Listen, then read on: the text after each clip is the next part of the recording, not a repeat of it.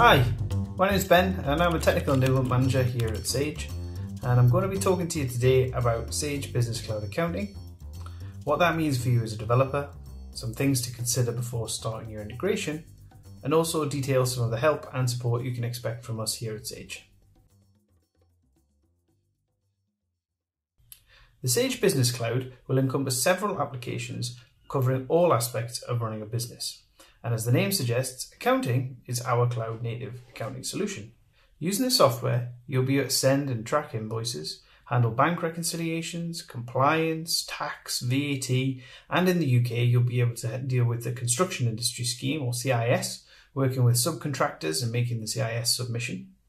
There are also options to handle products and services, inventory management, quotes, estimates, as well as all things purchasing. Combine these features with our RESTful API, and what that gives you as developers are opportunities. Opportunities to expand on features that are already available, or take your existing applications that are already solving issues for customers and provide integrations that can both automate and streamline entry into accounting, or provide key insights through dashboards and other apps. Not to mention, you'll get the opportunity to tap into our ever expanding customer base. Integration with accounting is achieved via our RESTful API v3.1, which uses OAuth 2 for authentication. We have a much more detailed and comprehensive guide on authentication available on our developer portal, as well as another video coming. There is a comprehensive Postman guide to help you get started and test out the API and check out the endpoints that is also going to be available for video and on the developer portal. A key consideration when looking at an integration with accounting is which of the variants you wish to integrate with. Each variant has a different feature set, and this helps to ensure that a customer pays for only what they really need. Let's take a look. Coming across to the Sage website, we can see all three variants here. The first we have is our entry-level variant called Start on the left, which is designed for small startups that only really have very basic accounting needs such as the ability to create and send sales invoices, the tracking of debtors so that they know what's owed to them, automatic bank reconciliation, the ability to calculate VAT returns and make online submissions. And also you can see here that it supports just the one user as it's aimed at that sole trader and small startup.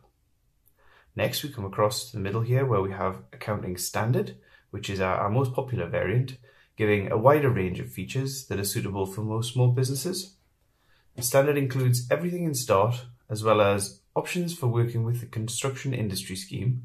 So that's working with subcontractors and the ability to make CIS submissions in the UK. It gives you more advanced reporting. Um, it also gives you the option to raise quotes and estimates. You can use forecasting for your cash flow, and the ability to raise and send purchase invoices. This will also give you a list of the products and services and the relevant details for them as well. Finally, on the right here, we've got our, our top tier offering, which is Accounting Plus, and that adds a couple of key features that not every business requires. And so as before, Plus includes everything in Start and Standard, as well as the option for multi-currency invoicing, and also inventory management for products. So handling actual stock quantities and, and things like that. So as you can see from this breakdown, it's important to know just which variants have the features you will likely want to work with via the API. As when connecting to businesses, the underlying business logic ensures only the relevant endpoints are available to use within your own application. We feel that this benefits the customer more than what some of our competitors have as they have unlimited use of the features that they're paying for. This is as opposed to a one-size-fits-all approach that grants access to everything but imposes restrictions on the number of times features can be used based on price plans. As Sage Business Cloud Accounting is a global product, it is available in different regions. There are some that have compliance-based differences depending on a country's legislation. This could be tax related or, say, a requirement to include specific extra information when posting invoices. One such example is in Spain. where if a mistake has been made on an invoice, it is vital that that invoice is not altered or changed, even if it hasn't been sent through to the Spanish tax authorities yet. It's a requirement that a corrective invoice be raised to fix the earlier mistake. It must include a reference to the original invoice as well as include its own numbering system. This situation is unique to Spain, but one that we've ensured is covered by the aptly named Sales Corrective Invoices endpoint. If you were to go to the API reference in our developer documentation, you'll see that this endpoint is marked as being available for the Spanish region only. Let's take a look. So, coming across to the developer portal at developer.sage.com, we want to choose the product for accounting. And as I mentioned, we'll come across here to the API reference. And what I would point out while here is that what you have actually is endpoint sections rather than one specific set of endpoints. We have so many available in accounting that each of these sections takes you away to a separate API reference. So sometimes, for example, contacts, you'll click it, and the first option for endpoints you see is addresses. And these are basically just groupings that we feel are relevant to the specific titles that we've given here on the main page.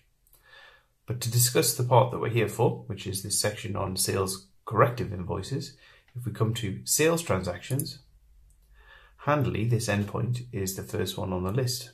And you can see here sales corrective invoices. And it states clearly here that the endpoint is available for Spanish businesses only.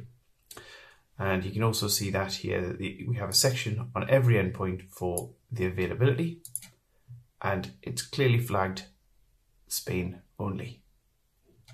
Along with that, you can see as we scroll down a bit here, the various different query parameters available with some response samples as well. So there you have it. Some of the key things to be aware of before you dive into your integration. But what happens if you have questions or where can you turn for support? We have a number of different channels available. Your first port of call for any developer related query should be our developer documentation for accounting, which is available at developer.sage.com forward slash accounting. There you'll find a quick start guide, our API reference, and also some key detailed guides taking you through processes involving invoicing, authentication, and much more. These key concepts, as we like to call them, will also be translated over the coming months to video format so that those of you that prefer this medium can sit back and just enjoy watching the content. Next, we have our Sage Developer Community Forum, which is available at developer-community.sage.com. Here you'll be able to ask questions about anything API related, endpoints, authentication, and there you'll get help from Sage staff, including myself, as well as being able to discuss it with the wider developer community. Last, but by no means least, we have a fantastic dedicated support team available for accounting API queries in the form of our UK Developer Services team. They can be reached via email Monday to Friday, 9am to 5pm UK time on sbc-accounting-api-developers at sage.com. Just rolls off the tongue, that doesn't it? We'll have links to all of this and the other support methods in the description below. Thanks a lot for watching and I really do hope this video has been helpful for you. Please let us know the kinds of things that you'd like to see on the channel, whether that's in feedback, in comments, or just via the community, and we'll do our very best to accommodate that in the future. Thanks again. Best of luck with your integrations.